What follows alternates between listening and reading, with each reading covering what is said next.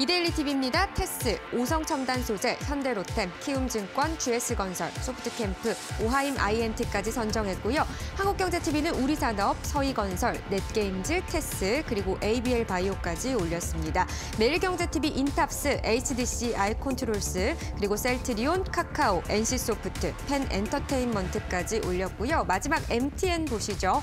원익 IPS, 서희건설, 한빛소프트, LG전자, ST팜, 한미글로벌까지 올렸습니다. 네, 종목 분석 들어가겠습니다. 첫 번째 종목 어떤 종목 선정하셨죠? 예, 첫 번째와 두 번째를 묶어서 하겠습니다. 테스랑 원익 IPS인데요. 음, 예, 예. 같은 그 어, 장비를 다루기 때문에 같이 하면 좋을 것 같아요. 네. 테스랑 원익 IPS에다가 유진테크랑 주성 엔지니어링까지 끼어서 네 개를 4대 증착 장비 업체라고 불리면 부르시면 되거든요. 네. 그러니까 그 반도체 공정 중에서 전 공정에 해당되는 분야인데 이제 그 다 많이 설명을 드렸으니까 증착 증착 장비 증착 장비 쪽에서 테스, 원익 IPS, 주성 엔지니어링, 유- 유진테크. 근데 지금 테스랑 원익 IPS 두 개가 나왔어요. 근데 요 그 증착 장비 업체들의 지금 과제가 무엇이냐면 일단 첫 번째로는 테스랑 원익 IPS 둘 다 마찬가지인데 삼성전자 비중이 높아요. 삼성전자 이른바 삼성전자 향이라고 하죠. 예. 그래서 삼성전자를 많이 붙들고 있는 게 장점이자 단점이 될 수가 있어요. 그냥 삼성전자를 많이 붙들고 있는 게 삼성전자가 투자를 많이 할 때는 좋지만 삼성전자가 만약에 거래처를 다변화한다고 하면 일감이 줄어들게 되는 부담감이 있어요. 그래서 예. 삼성전자 향을 탈피하는 거. 요게 첫 번째 과제고요. 그 다음에 주로 얘네들이 다 메모리 향이에요. 메모리 향. 그러니까 삼성전자랑 SK 하이닉스 우리나라 반도체주가 강세를 보이는 게 메모리 쪽이에요. 예. 이른바 기억 장치인데 D램하고 NAND flash가 있죠. 여기서 삼성전자, SK 하이닉스가 꽉 잡고 있어요. 그리고 요즘에 이제 비메모리 쪽을 키워야 된다고 해서 지금 뭐 삼성전자도 비메모리에 많이 투자를 하고 있고 비메모리에 투자를 한 비메모리에서 나온 것들이 뭐 foundry라던가 fabless라던가 네. 요런 형태의 기업들이에요. 그 메모리 쪽에서는 종합 반도체 기업이 설계부터 생산까지 다 한 반면에 그러니까 대량 생산을 하면 돼요. 근데 이제 비메모리 반도체 쪽에서는 고객사마다 따로따로 조금씩 해야 돼서 다품종 소량 생산을 해야 되기 때문에 큰 공장에서 반도체 업체들이 다 찍어내기보다는 각각 분업화된 게 효율적이에요. 그래서 공장이 없이 설계만 하는 팹리스 업체도 나오고 생산만 하는 TSMC 같은 파운드리 업체도 나오고 네. 그게 비메모리 분야예요. 근데 테스나 원익 IPS가 다 삼성전자 향인데 메모리 향이다 보니 앞으로 시장이 더 커지고 투자를 많이 해야 될 비메모리 쪽에 들어가는 장비의 그 지금 점유율이 낮아요. 그 두 번째 과제가 그거예요. 비메모리 쪽 장비 쪽 점유율을 널- 놀- 올려야 된다는 거.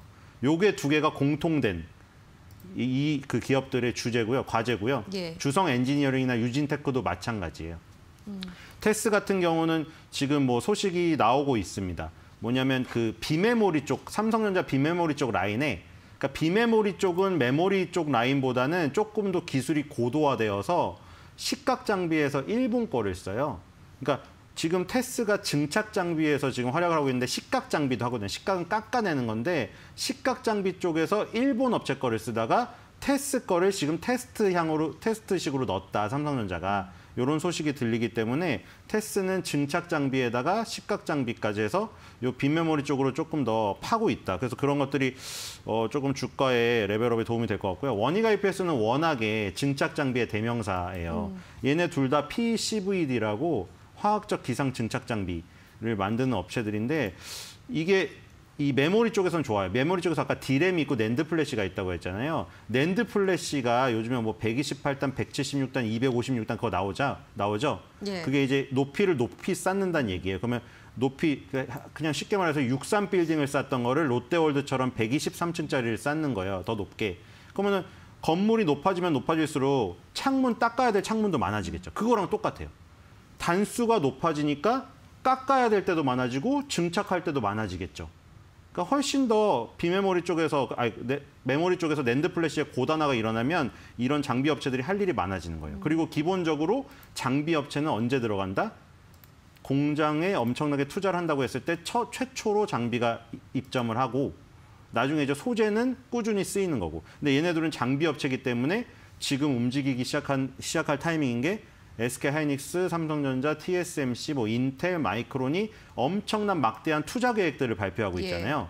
그러면 공장을 처음 설립하고 맨 먼저 들여오는 게 비싼 돈 주고 장비를 들여오게 된다. 그래서 지금 장비가 갈 타이밍이고 테스나 원익 IPS 둘 다 비메모리 향 쪽으로 장비를 공급을 지금 늘리고 있다는 소식이 있기 때문에 어, 지금 좀 삼성전자는 묶여 있지만 이런 밑단에 있는 장비 업체들, 소재 업체들 그리고 소부장 예. 그런 부품 업체들 이런 것들을 좀 눈여겨보면 좋을 것 같아서 두 개 다 지금 좋습니다. 그럼 이 상황에서 삼성전자가 가준다고 하면 더 올라갈 상승 여력이 있다고 볼 수 있겠네요. 삼성전자가 안 가도 돼요. 가도 삼성전자는 있고요. 그 예. 묶여 있을 것 같아요. 제가 음, 보기에 계속 계속, 묶여 있을 것 것이다. 같고 오히려 이- 이런 데서 삼성전자를 삼성전자 말고 만약에 TSMC나 예. 인텔이나 마이크론 쪽을 뚫는 기술력을 개발하는 회사는 대박이 나요. 음. 그러니까 그 사실은 외국 그런 지금 유수의 회사들은 그 외국 장비 쓰거든요. 그 노광 장비는 쉽게 말해 노광 장비는 네덜란드 ASML 거 없으면 안 되는 거고 그리고 식각 장비는 램 리서치라는 회사 거 쓰고 그리고 증착 장비는 어플라이드 머트리얼즈 회사 거를 써요. 근데 이제 조금 기술력이 그 정도 급까지 안 됐기 때문에 우리나라 장비 업체들의 점유율이 굉장히 낮아요. 근데 여기서 만약 기술 개발을 해서 삼성전자 말고 다른 데를 뚫으면 주가가 한 한두 단계 level up 할 수 있는 수준에 가는 거죠. 근데 지금 지금 아직 거기까지는 안 되는 것 같고 기술적으로 삼성전자가 움직이지 않더라도 네. 이 장비 업체들은 움직일 가능성이 있어요. 그래서 알겠습니다. 예. 요 요쪽 중소형주 요쪽으로 보셔야 될 것 같아요. 대형주는 5월 달에 지금 그 공- 공매도 재개가 기다리고 있기 때문에 이제 한 3주밖에 안 남았어요. 그 재개가. 지금 슈팅을 가기에는 굉장히 부담스러운 면이 있겠죠. 외국인이나 기관도 억지로 올리기에는 굉장히 부담스러운 면이 있기 때문에 삼성전자 주가는 껌딱지처럼 붙어 있을 가능성이 커요. 그래서 그 알겠습니다. 밑단에 있는 애들 이런 애들을 노려보시면 좋을 것 같아요. 그럼 원익 IPS하고 지금 테스 같은 경우 강보합권 흐름인데요. 목표가 일차적으로 어느 정도 선까지 둘 다 잡아볼까요? 테스도 한 그 3만 5천 원 이상에서 4만 원까지도 한번 네. 볼수 있을 것 같고요. 원익 IPS 원익 IPS가 지금 최근에 좀 떴, 떴나요? 예, 떴죠. 예. 이 신고가인데 이거는 아, 글쎄 수도 6만 원, 있겠네요. 예, 뭐 코미코 이런 거는 다 날라갔기 때문에 한미 한미 반도체 이런 건 날라갔잖아요. 음. 원익 원익 IPS도 신고가를 기록을 했기 때문에 뭐 6만 원까지 일단 달리지 않을까요? 알겠습니다. 테스는 4만 원 선, 원익 IPS는 6만 원 선까지 목표가 제시를 해드립니다. 자, 다음 종목 넘어갈게요. 예, 한빛소프트입니다. 네. 오늘 이거 메타버스 관련주로 오르더라고요. 음. 방금 전 코너에서도 얘기가 나오는 것 같던데 맞습니다. 자이언트 스템 얘기 그, 나왔거든요. 예, 그 자이언트 그거죠. 그 예. 그게 상장하고 지금 계속 가네요. 이게 지금 상장하고 계속 가네요. 지금 2만 2천 원으로 시작했는데 3월 24일에 2만 2천 원으로 시작했는데 벌써 5만 5천 원이네요. 지금 그니까요. 이 메타버스가 뭐 대단한 것 같아요. 좀 메타버스는 별로 실감이 안. 뭐 아까 체육 그 학교에서 체육 활동을 이 메타버스로 하는데 잠깐 그 뭐 화면들 봤는데 아 저는 근데 솔직히 좀 아- 와닿진 않더라고요. 근데 뭐 이게 대단한가 봐요. 왜냐 체육 모여 활동은? 아무래도 뛰어놀면서 직접 거기서 뭐 달리기도 이어 달리기도 하고 네. 바톤 터치도 해야 되는데 그 가상공간에서 그게 얼마나 실감이 날지는 모르겠는데 네, 어쨌든 이, 이런 것들이 지금 이슈인 것 같아요. 그래서 한빛소프트가 지금 게임 이슈로 가는 게 아니라 이게 지금 그 메타버스 관련으로 지금 가고 있어요. 그래서 그런 쪽 메타버스 관련으로 봐야겠죠. 그래서 지금 이, 이거는 한 뭐 8천 원 정도까지도 슈팅이 가능할 것 같아요. 근데 그 이후에는 2016년에 만 원대에 기다랗게 밀린 부분이 있기 때문에 예. 다섯 자리로 가기 전에는 조심해야 될 것 같아요. 이거. 네. 알겠습니다. 자, 메타버스가요. 어쨌든 2030년도에 뭐 1,700조 시장이 열릴 것이다. 뭐 이런 전망이 나타나고 있습니다. 그래서 계속 이슈가 되고 있는데요. 오늘 한빛소프트 3%대 강세 흐름이네요. 7,170원 선으로 나가고 있습니다. 자, 소장님 관심주 알아볼게요. 네, CJ 제일제당입니다. 자, 이제 CJ 제일제당이 어, 역사적 신고가를 향해서 갈것 같아요. 하반기에는 지금 그림이 2개월 정도 쉰 다음에 지금 숨고르기 한 다음에 다시 움직이기 시작하는 아주 초입인데 아주 괜찮은 것 같아요. 대형주 중에서는 제일 괜찮은 것 같아요. 지금 어, 정말요. IT나 배터리는 제가 보기에는 아직도 시- 아직도 좀 더 조정이 나와야 될 것 같고 식품주가 좋은 것 같은데 CJ 제일제당이 대장이에요. 지금 다른 것들은 아예 움직이지도 않고 있거든요. 예를 들어 뭐 지금 다른 거 가지신 분은 다 속이 터질 거예요. 동원 FMB나 이런 거 보세요. SPC 삼립이나 이런 거는 정말 열불이 터질 거거든요. 어떻게 이럴 수가 있나? 주가 보, 보, 그냥 대충 멀리서 봐도 아시겠죠 네, 지금. 정말 올라가질 않네요. 이게 막 정말 네. 미쳐버릴 것 같을 거예요, 저거는.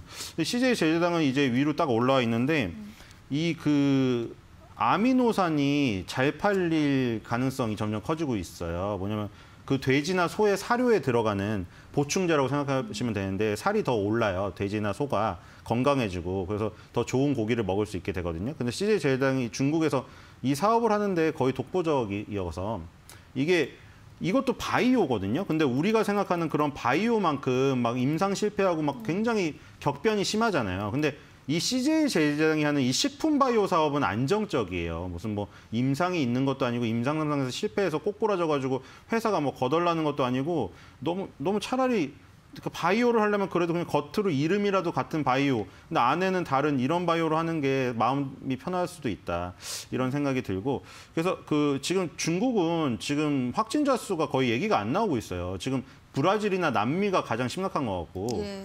중국은 뭐 자꾸 우리가 중국 나쁘게 보는 사람이 조작이라고 얘기도 하는데 뭐 조작을 지금까지 할 것 같지는 않고 일단 예, 숫자 거의 나오질 않고 있더라고요. 그리고 그래서 지금 그 얼마 전에 무슨 중국 뭐 있었어요. 그 명절이 있었는데 그 코로나 19 이전 그 수준으로 돌아갔대요. 그 기차 타고 그 안에 중국 땅 넓으니까 움직이잖아요. 그래서 네. 이미 다 그렇게 왔다 갔다 하고 있기 때문에 이런 상황에서는 당연히 이제 이, 게 살아날 수밖에 없죠. 다지 돼지, 소, 뭐 고기 이런 걸 키워서 먹게 돼요. 그래서 이 아미노산이 잘 팔리고 그리고 미국 쪽에서는 비비고 만두가 지금 계속 침투율이 넓어 그 높아지고 있다고 해요. 이게 원래 예전에 말씀드린 적 있는 것 같은데 중국의 링링 만두라는 게 미국에서 계속 1위였는데 예. 비비고가 이 링링을 꺾은 다음에 계속 질주를 하고 있어요. 지금 비비고 만두가.